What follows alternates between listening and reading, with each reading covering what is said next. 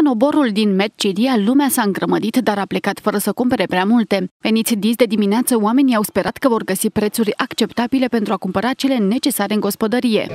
Am venit să văd și eu cum este prin obor. Și cum este? E bine, e de toate, dar nu-i bani. Prețurile cum sunt? La porum, la grâu, e ca și înainte, ca și asta toată.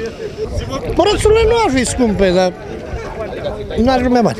Porci și la păsări și la pui și la capre și prețuri fa- variabile între așa. Iată cu cât se vând cerealele în această perioadă. Porumbul 0,9 lei, grâul 1,0 lei, mazăre 1,4 lei, semințe 2,3 lei, soia 2,5 lei, semințe 1,3 lei, combinat pui 2,3 lei, iar rapiță 1,2 lei. Lângă animale și cereale găsim și vase tradiționale românești. Prețurile pornesc de la un leu. Este numai pe, pe de asta de pământ de lut.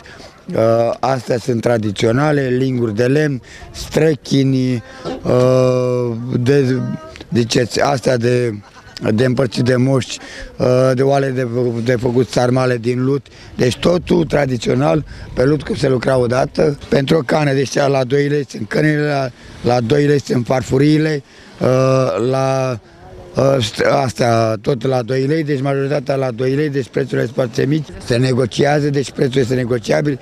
Asta din plastic uh, la 2 lei toate. Cu toate acestea, oamenii spun că oborul nu mai este ce a fost odată.